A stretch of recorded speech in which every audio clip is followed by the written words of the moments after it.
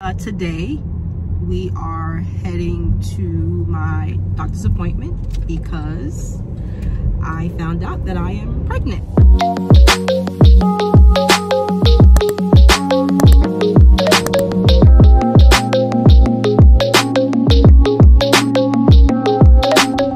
Hey y'all, welcome back to my channel. This is your girl Quay and I am back with another video. My daughter's in the back, my husband's driving. Um, so uh, today we are heading to my doctor's appointment because I found out that I am pregnant. And I found out that I am pregnant. um, it is indeed a blessing. So I am excited but nervous at the same time. If my calculations are correct, I should be at least five weeks pregnant. Um, my last period was on May 7th, because it is June, sorry, um, May 7th. And obviously I didn't get my period. I had actually found out that I was pregnant on me and my husband's anniversary on June 2nd.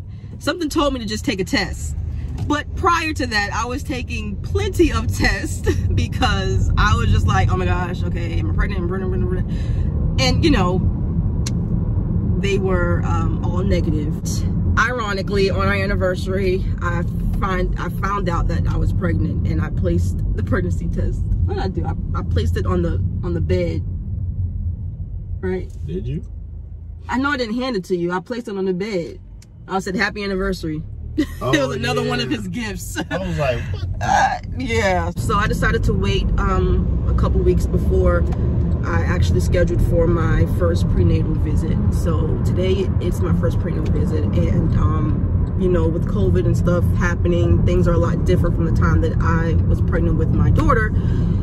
So I'm, I guess I'm kind of nervous because I'm not gonna have my husband like literally right there by my side because he was at every prenatal visit everything you know he did not leave me alone unless um i had no choice but to be left alone. So uh, but this time i will be alone. Uh, they'll be in the car and i guess hopefully i'm allowed to facetime them um and you know just just act like they're actually there in the room with me. Just praying that we have a positive and great visit and after i get out i will keep you guys uh, informed on what has happened, what has transpired in Hey, so I am back from the doctor.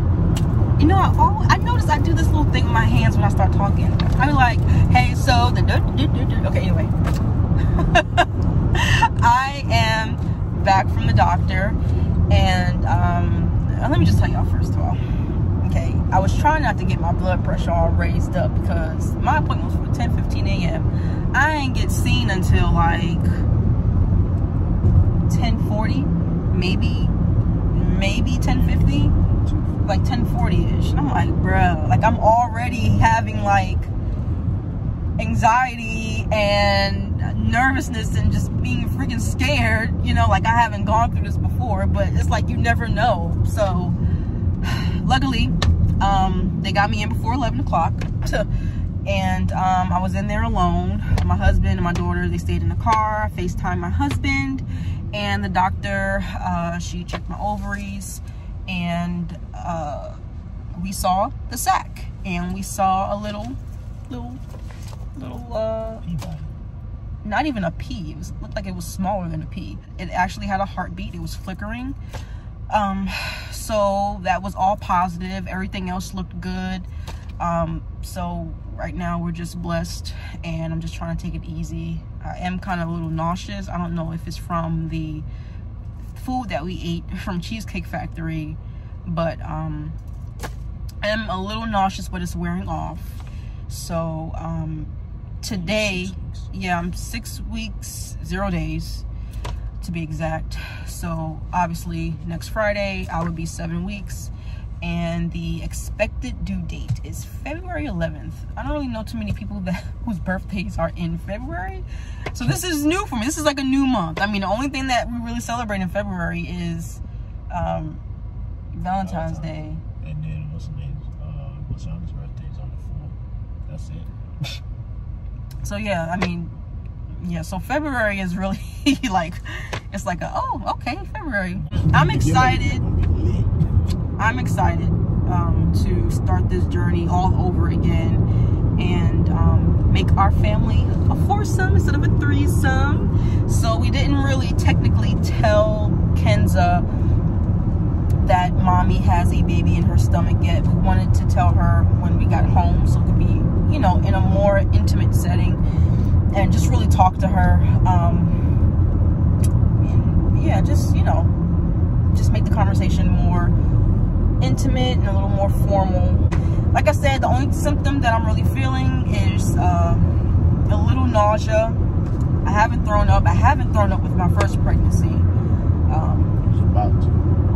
I mean, yeah, I felt a little nausea here and there, but I haven't thrown up. I haven't really felt any major pregnancy symptoms except for having a craving of marinara sauce, which I still do now.